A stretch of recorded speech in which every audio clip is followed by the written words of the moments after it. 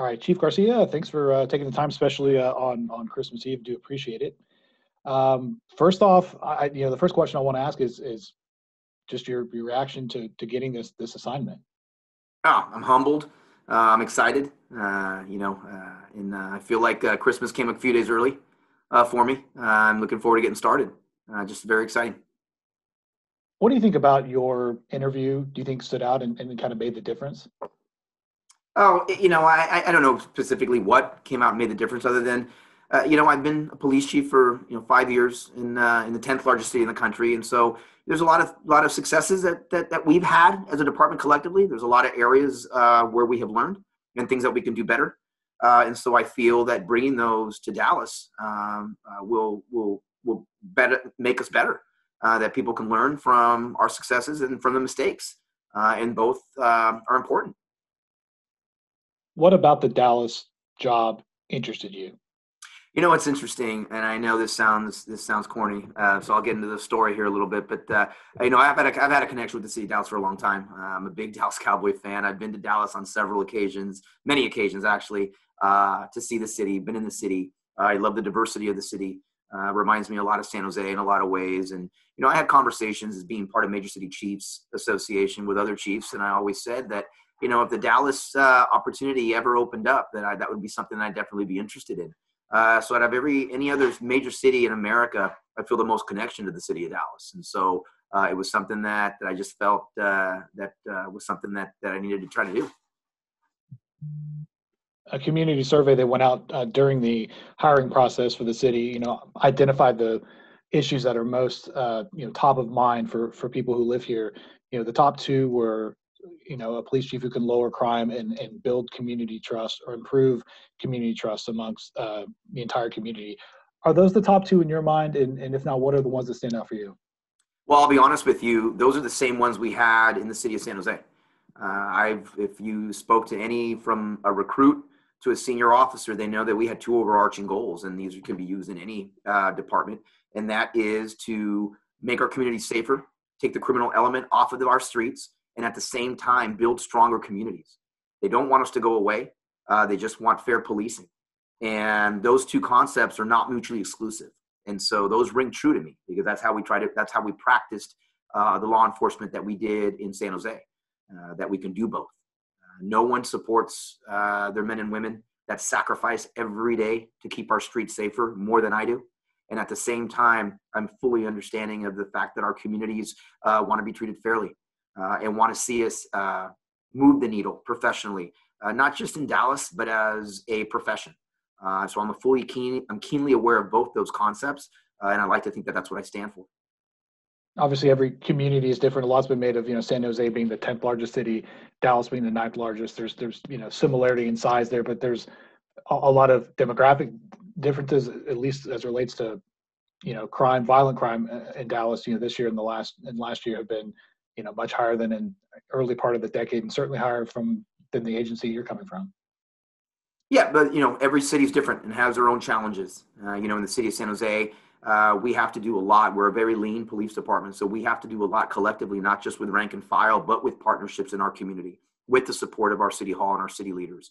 Uh, and that's no different. That that overarching concept is no different than than what we'll have to do uh, in dallas. We'll have to be strategic. We'll have to be data driven uh, to ensure that the the areas of need uh, are, uh, are are top priorities for the department. And so, uh, you know, we'll be out in the community. I'll be out in the community. When I say we, we'll be out. My command staff will be out in the community. Uh, I'm not a stay in the office kind of chief. I will be out learning. Uh, I'm eager to learn, and I want to learn. I know that I will love. I'm going to fall in love with the city of Dallas more than I already have. Uh, and it's going to be uh, obviously we got going to we're going to roll up our sleeves. We've already started conversations. We've already started conversations with some of the command staff. We'll be reaching out to them hopefully next week. We're reaching out to the rank and file as well uh, very soon uh, in in some sort of platform, and we're going to roll up our sleeves and be ready to go and go do this thing. I was going to say, you know, you're not in the position yet, so I don't want to ask too many questions along those lines. But what do you see as strengths already identified within you know the police department or things that you know you from a culture standpoint that you would want to look at Uh, well, you know, I've trust me, I've, done a lot of homework. Uh, I know the heart and soul of the men and women of the DPD, uh, both sworn and civilian, uh, that work extremely hard, uh, that want to make their community safer. You know, obviously, going through this uh, this process in the last you know in the last couple weeks, you know, I've seen some strengths from some of the command staff that's there. and so we're going to be working as a team together. you know, I've been a police chief, and I've had almost 30 years of law enforcement. I've been a chief for five years, and this is going to be a team effort. Uh, my hope and my goal really is to get us all rowing in the same direction uh, and to ensure that I've done my part to develop the next chief of police from inside the organization. And so uh, I see a lot of strengths. Uh, we just got to make sure it's not just getting the it's just not getting the right people on the bus. It's getting the right people in the right seats. Uh, and that's the good to great type of mentality that I think we're going to have collectively in the DPD. I know during last week's interview, you, you mentioned in that public setting, you know, policing you know here is not broken. And that's maybe in response to some people who've you know uh, aren't as optimistic about you know the situation in dallas. Kind of what you're talking about is that kind of led into that that idea of you just well absolutely. You know there was a there was an article that i had read uh, with, regarding uh, some south dallas uh, pastors coming together uh, and talking about the need for law enforcement. Fair policing but they wanted law enforcement. Uh, and that's a precious gift unfortunately does not exist in every city in America right now. And so you have to take that gift, treat it as it is, uh, and build from that. And that's why you that's why I can make those comments that it's not broken, um, that there's opportunities and there's some solid foundations to build upon.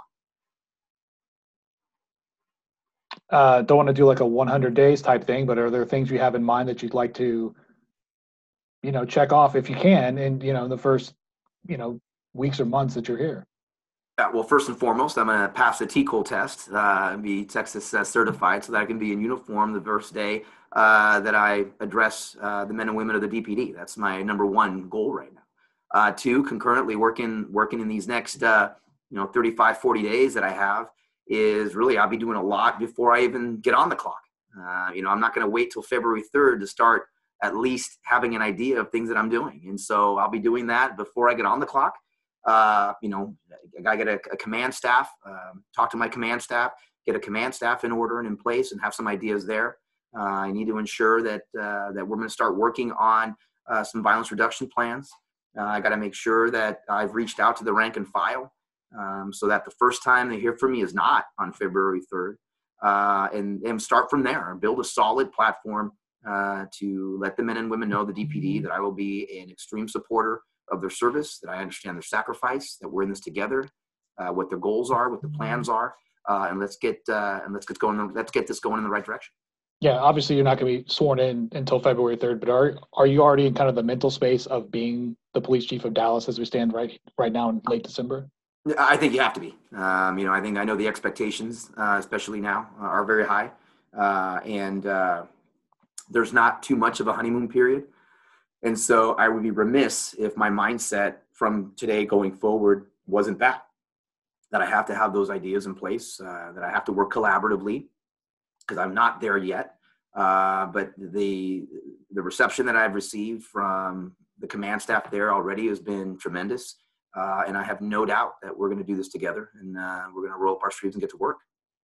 One thing you mentioned in your in your interview um, was the training video that new recruits in San Jose Police Department go through to learn about the history of policing.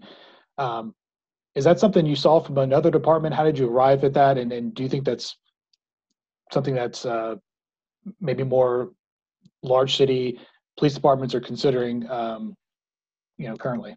Uh, you know, I think I would, we were the first uh, in the country to do something similar, to my understanding. And the way it came about was just simply me watching the Netflix movie, The Thirteenth.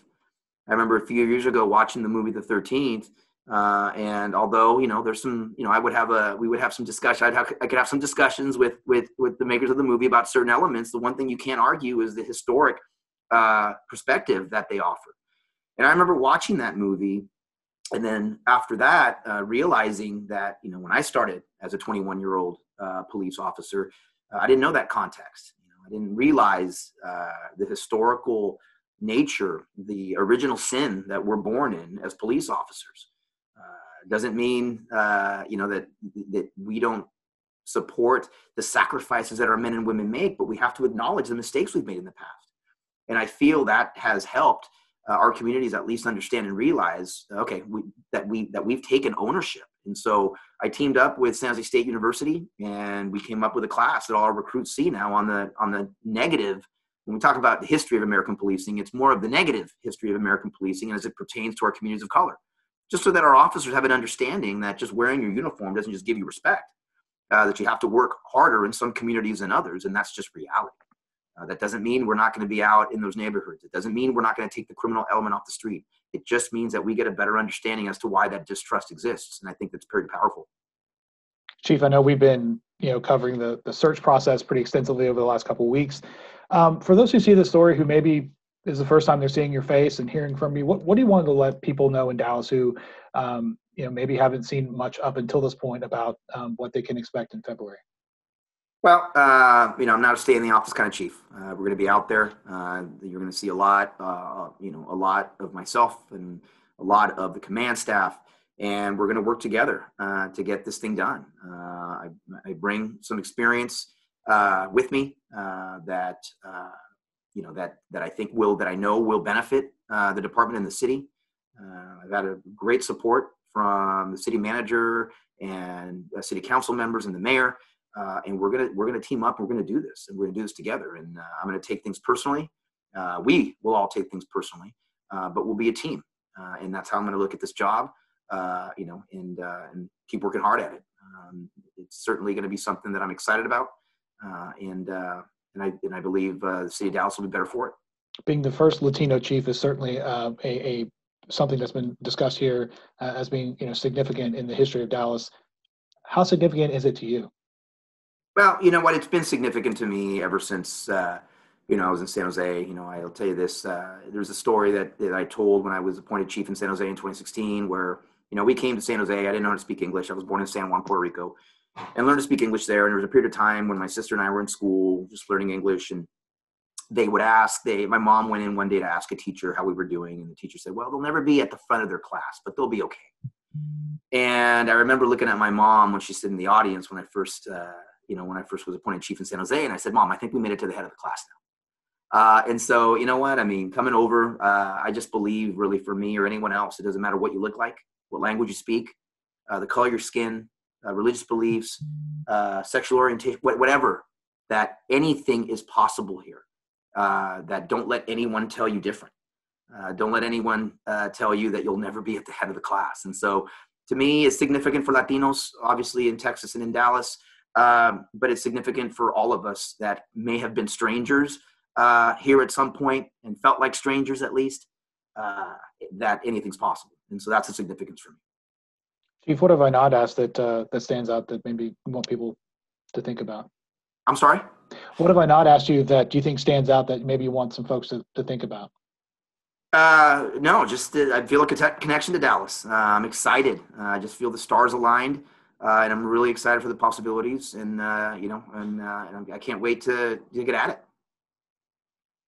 Maybe the next 30 years of uh, Cowboys football be better than the, the last 25 or so. I tell you what. Oh, I will say this though, man. I, I, tell you. So the victory against the Niners, being out here in the Bay Area, I, will say it was a moral victory. It it, it made up for a lot because that would have been rough being out here. Uh, I would have had to hear it quite a bit uh, from the Niner fans out here.